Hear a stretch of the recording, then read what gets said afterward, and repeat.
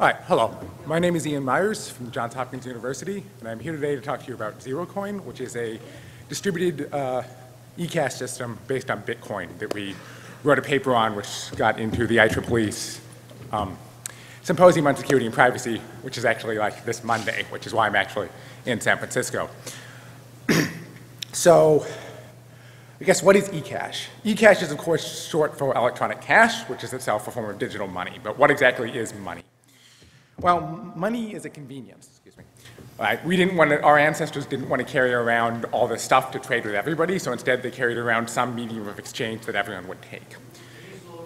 Yeah, sorry. I'm a little flustered from, from trying to get here. Bear with me. Um, and so as a result, people tried to carry around smaller and smaller things because you really didn't want to carry everything with you. So people carried around like precious metals like gold or silver. And course, that's still a little bit of a pain. Those things weigh a fair amount. So people started carrying around paper money, right, which is redeemable for gold or silver if you went to a bank or a government or whoever was running these schemes. But that's still a little inconvenient because you have to carry around all this money in your wallet. So how do you carry around the minimal thing? And one of the ways to do this is to digitize money. And there's sort of two ways to do this. You can try to make digital cash, which is a digital analog of cash, and so it's, it's actually anonymous and it's difficult to counterfeit. And this is in fact quite hard to do because making digital goods that you can't copy is nigh unto impossible. If you think about how easy it is for a 14-year-old kid to pirate the latest Justin Bieber album, and you consider that a $20 bill is probably worth considerably more than Justin Bieber, you have some idea about the, of the scope of the problem. So in practice, people don't do that. Instead, they do digital cash, which, uh, digital checks, excuse me, which we are all familiar with. This is how debit cards work. You go to the grocery store, you swipe your card, and the money gets taken from your account and put into the uh, grocery store's account. And this is quite convenient, but maybe for this convenience we paid a price. Maybe we paid too high a price. What, what did we lose here? And the answer is, in fact, that we lost privacy. Because in this system, the bank sees everything you do, right? They see who you do it with, when you do it, how much, and where. And they remember that forever. Banks are sort of like elephants. This doesn't go away. Almost as significantly, the merchants who you're dealing with now see what you do. They get to trace every single interaction you have with them, even if you don't see the same cashier or go to the same store. And this is sort of a problem, because if you think about it, people will go to fairly long lengths to avoid this kind of tracking online. They'll disable cookies, they'll use NoScript, some people even use Tor. And yet, we have this thing in, you know, real life that is tracking you about that well. Oh, sorry. And so the question then is, maybe we should have revisited this digital cash thing. And in fact, a bunch of academics did in the 80s and, and more recently. And the result basically is you can't make uncopyable digital goods, but you can make single-use ones. So the idea here is, is if you get a coin from the bank, that coin has a serial number on it. And you can make as many copies of, as you want, but it still has to have that serial number on it because that's what the bank signed. And then to spend that coin, you give it to the merchant and they check with the bank that that serial number is unspent. And so the second copy of it you made is useless, as is the thousandth, as, as is the millionth. You can only use it once. So this is how we get the uncopyable part effectively. But how do we get anonymity out of this, right? Serial numbers are traceable. And so that doesn't really get us anywhere, it seems. And so the breakthrough that was done originally in 1982 by someone named David Chaum was to use what are known as blind signatures, which basically allow the bank to, instead of signing a serial number on a coin, to sign a opaque envelope containing a serial number. And so the idea here is all the envelopes are the same, and so the bank will give you one of these with a serial number in it. Well, you'll give the bank one of them, it'll sign it, you'll get it back. And then to spend it, you will hand the envelope to the merchant, and the merchant will make sure the signature is valid, and then open the envelope, take out the serial number, check that it's not double spent, and then record it on, on the list of spent ones. This gets you anonymity because the bank has no idea where the coin that you just spent come, came from because they've never seen the serial number. And so this is actually quite effective. This gets us privacy and this has been extended by a large amount of work. But of course, none of this stuff really took off. How many of you here have heard of DigiCash? How many of you ever used it? Oh, that's way more people than I expected. But the point is, nonetheless, that it didn't really see any widespread adoption. And the reason we'll see in a second. If you consider what you actually want from a digital currency system, you want it to be secure. This is the sine qua non, so, so to speak. If your system can have money counterfeited or stolen, it is, of course, a punchline. It's not a currency system. As we just saw, you would really like it to be private. But the more important feature, I think, in terms of getting these things adopted is that you'd like it to be decentralized, right? Because if you have to convince people that to use their system, they either have to trust some bank, who, by the way, you also have to convince to use your currency, and that's really hard, or that they have to trust some company that you started to do this, i.e. DigiCash, you're probably not going to succeed. But if you have a distributed system, you can just sort of set it up, build it, and they will come. And in fact, this is you know, what happened with Bitcoin. I'm going to assume, unlike the talk I'm giving on Monday or Tuesday, that you guys are all familiar with Bitcoin and I don't need to really go into the background. Uh, I certainly hope so. But I would just point out that Bitcoin has a transaction log called the blockchain, which has everyone's transactions in it, and these are uh, public. Um, this is actually a useful feature for what we build on top of it, but it's also the motivating case for it. Because if we look at how Bitcoin adds up, stacks up as a currency, ideally, it is clearly decentralized. It is pretty clearly secure. But is it private? That's sort of an open question, right? So let me stop for a second and give you a little digression, right? When people say privacy in terms of Bitcoin, they usually talk about anonymity. A lot of press things I've read say Bitcoin is anonymous. And so anonymity as a technical mean, thing means if you think about like knowing someone's name. If I'm trying to guess your name and we say it's anonymous, then you could have any name of all the six billion some odd people on the planet. I know nothing about you. On the other hand, if we know that you might have one of a possible smaller subset of names, if you can go to like the grocery store and pretend to be John one day and go to somewhere else and between, between to be Jack another day, then we say that you don't have anonymity, you have pseudonymity, because you're known to people as a different set of finite pseudonyms. And the problem with pseudonymity is that it's actually somewhat easy to link pseudonyms together. Maybe the two different uh, stores you were going to noticed that you drove home to the same house, and now they know that they probably belong to the same person. Maybe somehow you just found out that Samuel Clemens and Mark Twain are the same person. Right? And so this is the problem that Bitcoin has, because Bitcoin's transaction store is public. But of course, it's not, doesn't have your name associated with it. It has public keys that you have, and you can have as many of them as you want. But linking those public keys together turns out to not be that hard, and there's a lot of sort of techniques you can leverage from, from computer science, right? I'm actually a, a PhD student uh, and work in academia normally. There are a lot of techniques you can, can leverage from there to actually end up with uh, identifying information about people. And so it's an interesting question, right? Are these techniques that people have done in data mining and graph theory applicable to Bitcoin? And the answer is yes. And in fact, the preliminary results people have looked at are not really that good. And I must emphasize that these are preliminary results. The people who mainly looked at this were cryptographers.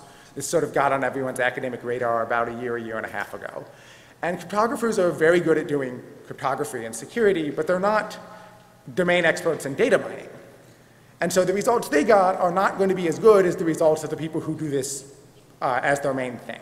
And so when those people start looking at this, these results are going to get even better from the academic point of view, or worse if you actually care about privacy right? Most significantly, all of these, these papers, to the best of my knowledge, are passive. People are just downloading the blockchain and looking at it. They are not trying to insert things into the blockchain that they might use to tag people. And that is, of course, a more powerful class of things that you can investigate. And so the reality of the matter is that we have to sort of assume, based on this kind of stuff, that Bitcoin, in terms of as is, is not really private. In fact, it's, it's definitely worse than cash, because cash was anonymous. I contend it's actually worse than the bank, because at least in the case of the bank, it was the bank and whoever they told that knew your stuff. Your neighbors didn't, your family didn't, your co-workers didn't. Unless, of course, you worked at a bank and they had bad security stuff, but that's a side question. So in fact, with Bitcoin, it's worse than this. All your information is known to everybody, except, of course, the bank, because we managed to get rid of that, thankfully. So I know what you're thinking, right? This is, this is nice, but what I just outlined requires a fair amount of effort to get this data, right? You might have to run some stuff on a large cluster of computers. And the first point is we don't know that yet, right? These are preliminary results, and the results will only get better, um, assuming Bitcoin stays statically where it is. But the second point is that's not really a barrier to entry right now. right? Companies are willing to do a large amount of data mining to identify information about you anyway, right? This is, I'll give you a story from the New York Times from a while ago. Target does uh, data mining on their customers to give them targeted coupons that they mail to them. And apparently they have a fairly good set of algorithms that will determine when someone was pregnant. Allegedly, they claimed that they could actually figure this out before the person themselves knew. So that should be really creepy to you and kind of Orwellian. Thankfully, I'm not sure they could actually do that. This is a throwaway quote. You might be skeptical. But what you shouldn't be skeptical of is the fact that they can certainly identify this kind of information once you know you're pregnant. And so Target does this on a regular basis. And they, in fact, did this with one of their customers, and they sent out the information to the, the coupons to the person's house. Unfortunately for this person, but fortunately for us, because it gives us a nice parable about privacy in the digital age, the person in question was a 16-year-old girl who was living at home with her parents, who did not, until that moment, know that she was pregnant. And so you might want to like, think that people won't do large amounts of data intensive analysis to figure out things about you, but in fact they will, right? There's a monetary incentive to do this. Another one, which as far as I know is sort of a, a blue skies kind of thing that no one does right now, at least I hope not, is credit card companies, right, need to have a good amount of information about your spending habits to determine how much money they're going to lend to you. And this is, of course, there's big money involved in this. And if they had access to all of your financial history, every single transaction you've made, right, not just the ones you've made with them, not just whether you've paid your bills on time, but who you bought, what you bought, who you bought it with, when, where, how, what, and how much money you were getting paid like on a regular basis and you know, whether you were living hand to mouth or not. That would be pretty valuable, and they probably would be willing to invest a fair amount of effort in figuring that kind of information out. And you could see this also apply to like insurance or maybe even people doing employment. But so there is actually a motivation to extract this information, even if it's non-trivially computationally complex. And so this should worry you. So how do we fix this? Well, the first sort of principled solution is to try to build the academic eCash stuff I outlined earlier on top of Bitcoin. As I understand it, people actually tried this, right? They tried to have a central bank that took Bitcoins and issued you eCash tokens that you could then redeem and get back Bitcoins. The problem, of course, with this is that it requires some central bank or quorum of like five or 10 or 20 people to run it. And of course, no one's really going to trust them, right? They could just go out of business, or they could print way more money than they said, devalue the currency, and make money out of it. So as far as I understand, this idea was more or less stillborn from when someone came up with it. Um, it's definitely not ideal. The second one is Bitcoin laundries, and this is sort of the more uh, pragmatic solution that's in existence today. The idea here is that you take your bitcoins and you get together with a bunch of other people and you hand those to someone and they launder them together, uh, exchange them around, and then you get them back, but not your coins, just a comparable amount. So the problem with this is that, of course, it's not decentralized. You have to find someone to, doing, to do the mix, right? And you have to trust them not to just take your money, at least under naive constructions. The second problem is, is that it's not really private, right? Because you have to trust that at least one of the mixes you use doesn't log how it mixed the stuff. Because if they know who got what and they keep a record of it, then you can figure, then there's no anonymity involved if they publish that record. The second problem, which is sort of more fundamental, is that mixes suffer from limited throughput because you have to get a bunch of people together to engage in this protocol. And so you're not going to get full anonymity. Remember, right? You're not going to get to be the anonymous out of the entire population of Earth or the entire population of Bitcoin users. You're going to get your coins mixed with however many people you came up with who wanted to do this that day or that hour. And that's a smaller number. And so just that's not as good as we could do, right? And academics kind of want to figure out what's the best theoretically possible solution, even if it's not completely practical, and then work to making it practical, not to start with the practical solution. So this is where ZeroCoin comes in. ZeroCoin is a distributed approach to building electronic eCash on top of uh, Bitcoin, right? It extends Bitcoin by adding an anonymous currency on top of it, which is called ZeroCoin, somewhat uncreatively, right? Um, and zero coins are exchangeable for bitcoins, just as the US dollar was used to be backed by gold, and you could exchange a dollar bill for uh, $1 dollar's worth of gold. You can exchange whatever the denomination of zero coins is for the equivalent value of bitcoins. And that's sort of the entire way we get value from this. We don't have to invent our own currency and convince people to use it.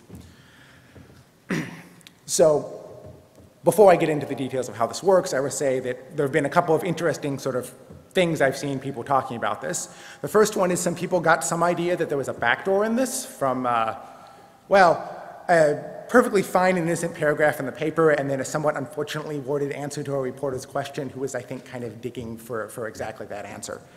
There is no backdoor in this. In fact, you really can't put one in it in the sense of having something covert because it's going to be an open source thing. There's a paper which has the protocol in it, an actual like verifiable mathematical proof that this thing is secure. And so if you stuck this in the open source code, you'd notice that it deviated from the protocol and you'd you know, go, why is this? And when there was no good answer, you'd know that it was a backdoor in it.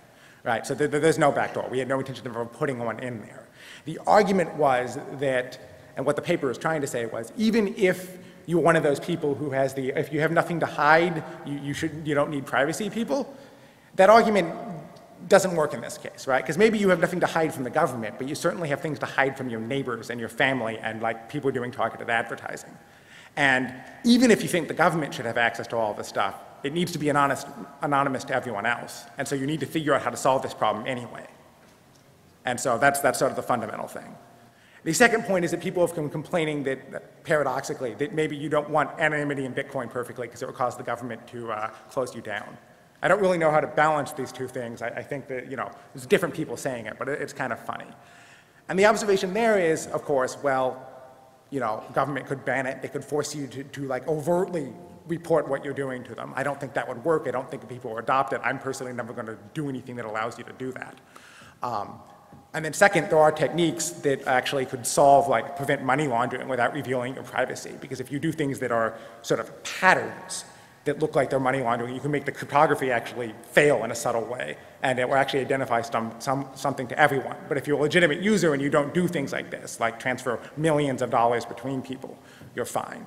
And this is not in zero coin today, and it, it, may or never make it into it, but it's an option. And if people really think the government's going to come and give you that kind of a problem and it's necessary for this to survive, you could add it. I doubt in practice that anyone would because people want, you know, freedom to do what they want, and that's, you know, perfectly fine. So what is ZeroCoin? Uh, this is going to be a high-level talk. I don't want to get into the bog down in the cryptographic details because I don't really have time. Um, but as I said, zero coin is economically a promissory note redeemable for Bitcoin. Cryptographically, it's another opaque envelope containing a serial number, right? The same double spending techniques apply, right? You get the envelope, you can only use it once because you have to open it and reveal the serial number. You can make as many copies as you want, but that serial number is still the same and it's still one-time use. So, right, you stuff a serial number in there. So how does this actually work, right? Well, we can't use uh, cryptographic techniques. Uh, sorry, we can't use blind signatures to do this because we have no central bank, right? There's no one who can hold a signing key, right? We want to be in a decentralized system. So instead, we make another, our contribution was basically figuring out another way to make an opaque envelope and make it actually work. Um, and so we use what, what are known as cryptographic commitments, the details of which are irrelevant here. Um, anyone can make one of these commitments with the public parameters. And so you might think that there's no value in the system. Uh, but in fact, what you do is you create this envelope, and then to give it value, you have to insert a ZeroCoin mint transaction onto the blockchain, which takes as an input one, uh, one or two or 20, whatever the denomination is, of bitcoins, and contains in that transaction your uh, opaque envelope with a serial number in it. And so when you spin this, the person you spend it with, or if you spend it with yourself to use it as a mix, you get back a Bitcoin. So what happens to these Bitcoins? Where do they come from? Where do they go? These spent Bitcoins that you put in the zero coin mint transaction don't go anywhere. They get escrowed on the blockchain, so to speak. And so to spend a zero coin, you reveal the serial number in that envelope, and you prove in zero knowledge uh, that it's from some zero coin in the blockchain without revealing what zero coin that is. And this is how you get your anonymity, because it's back to the opaque envelope thing. The, everyone who looks at it has no idea where this zero coin came from. They don't know if it was the first one that was put on the blockchain or the nth or the fifth or the 20th or whatever. They just know it's valid. It's one of them. It's not counterfeit. Um, of course, when you spend it, the serial number is marked as spent on the blockchain, um, and the recipient gets back a random uh, Bitcoin from the escrow pool.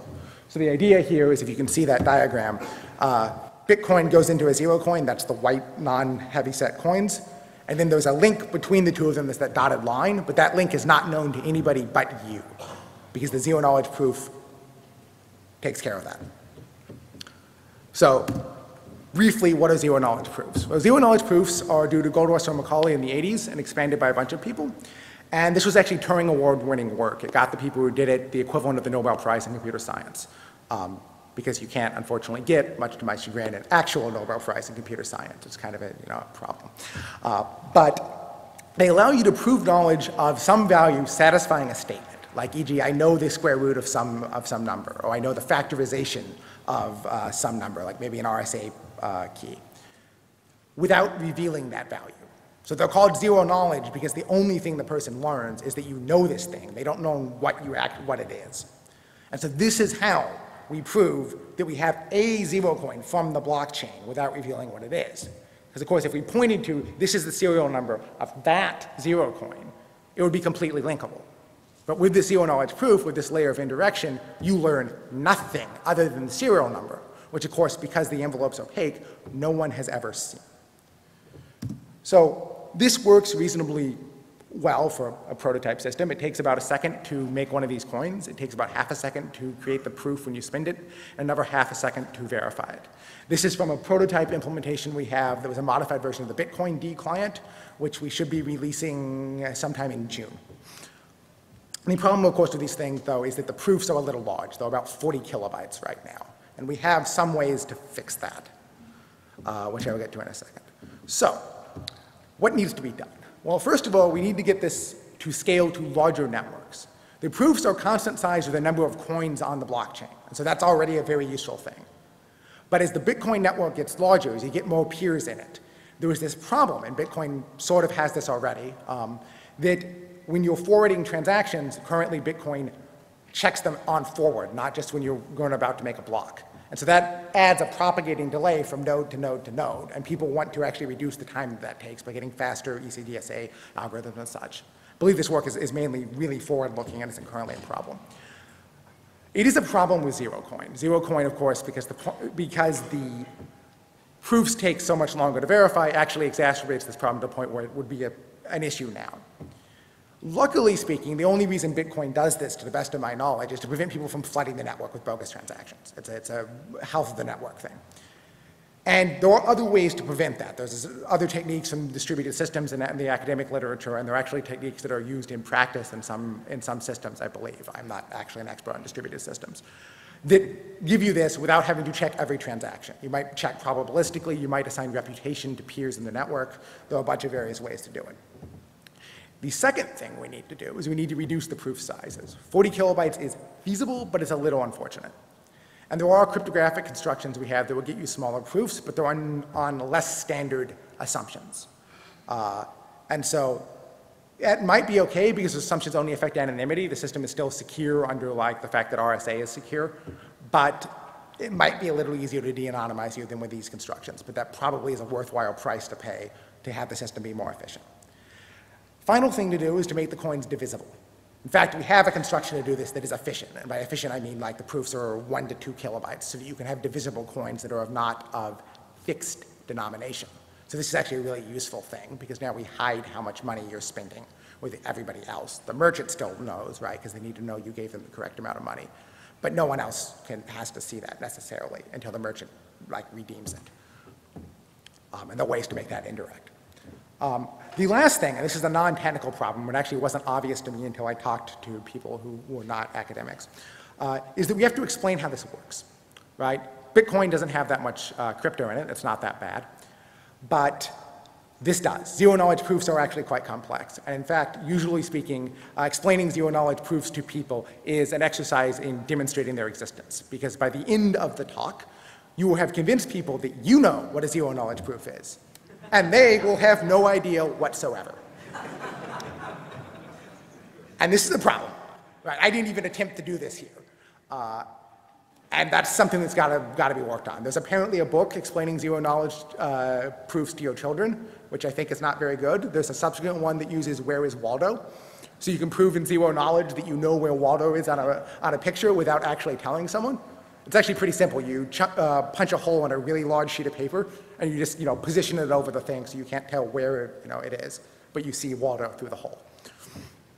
Um, so why am I here? Well, other than the fact that it was convenient because I already was in town, I'm kind of trying to figure out where this goes from here, right? We just wrote a paper and a prototype software implementation, and we'd like to see it used, and we'd like to do work on it, but I need feedback, right? I live in not quite an ivory tower, the roof leaks, it's not that tall, but it's close enough. Um, so how does this get, okay, how does this get adopted? Um, as part of Bitcoin? Okay, that's like the ideal and not that likely. As part of some alternative currency? Maybe, I don't know. As it become its own alternative currency that actually has like the claim to fame is it's really anonymous? I, I don't know. I'd, I'd like to know. Um, the other question is if we go with the current construction, where do the proofs go? There are 40 kilobytes. You can't fit those in the blockchain. So currently we fit the hash of them in the blockchain, and you had to retrieve them. Right, that's fine. You can retrieve them from DHT or somewhere, but they could, of course, go away eventually.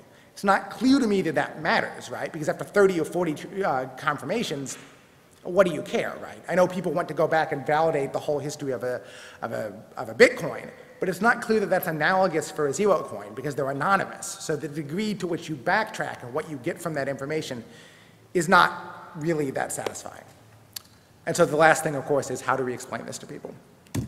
And so I don't know if I have time for questions. I will certainly be around after this for uh, as long as people want to talk. Um, and that's that. Thank you.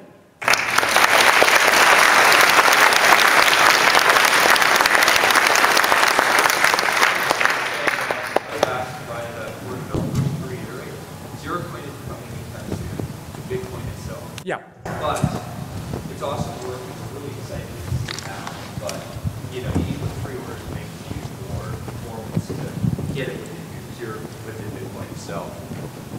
Yeah, that's, that's a perfectly reasonable point, and we didn't, like, yeah, that, if that ever Yeah. happened, it's a very long way down. Yeah, it, you know, ultimately, it's just so many people are so excited about this, Yeah. just make it clear, but Yeah. thank you. Yeah, I'll, I'll amend that to the talk when I give it or later.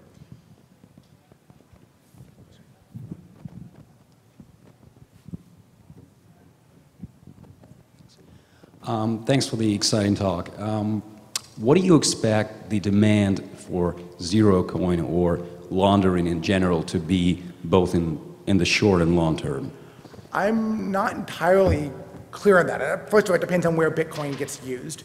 Uh, if it gets used in sort of real-world transactions, I'd say that the, the ability to de-anonymize people goes up because there's a lot more information. But conversely, my, my intuition is not is that people would be using it in real-world transactions on a daily basis if it's like more common. Care about privacy probably, but they don't think about it and they're not really aware of the issues. So it's sort of a balancing act there. Um, I guess that was long term. In the short term, it seems from people's interest in the thing that there was a degree of excitement to it. Whether this was just people going, oh, this looks cool, people really wanted to use it, I have no way to know because it's not around yet for people to try. Whoever gets the microphone next. Uh, Thanks. A couple of questions. Um, So one of the things that you seem to describe is a distributed escrow, um, which is complicated in and of itself. So I'm wondering how you manage to make sure that only the person who's supposed to be pulling the coin is pulling the coin from the escrow. Ah, so we had to modify uh, the Bitcoin scripting language. We added an instruction. And so what it is, is you construct a mint transaction which takes as an input a Bitcoin. And the requirement for paying that, instead of getting a signature, right, is that you actually provide the zero knowledge proof that validates with respect to the list of coins that is in the network. Great. And the second question is, assuming you're using fractional coins um, or very specific denominations, so I want, you know, I have a very specific denomination that I want to pull out, um, how is that not going to be easily traceable if a lot of other people aren't using exactly the same denomination? That would be trivially traceable. And so if you use the construction in the paper, you would have to, in fact, uh, be, use like large fixed denominations. In fact, we were thinking there'd originally just be one, um, sort of like Highlander, right? Um, but with the stuff we figured out later, which I stress is quite efficient for divisibility, the proofs for spinning are still as, uh, as uh, complex, you don't care because ne- that's never public except to the merchant. And so he just knows that you spin him, give him $3.55, and he learns that no matter what, but no one else sees the transaction values. And so that's actually hidden with the advances on it. So that sort of solves that problem, thankfully. So we're unfortunately out of time. Why don't we give our speaker a hand and we'll get ready for the next.